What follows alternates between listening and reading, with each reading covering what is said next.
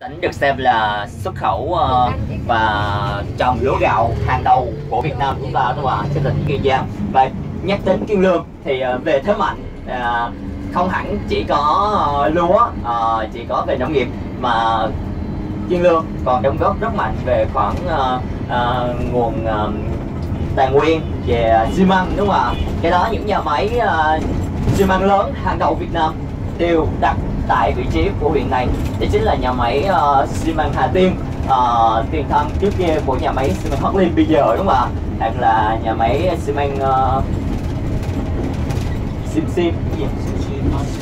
À, Hoa Sim đúng không? À, à, à, cái tên gọi gì nó giống giống Vi Sim rồi giờ Sim. Cái nào cũng Sim chọi. À, nhưng mà Hà Tiên ngày xưa là xi măng Hà Tiên đúng không? Nhưng mà bây giờ là xi măng uh, uh, uh, Sim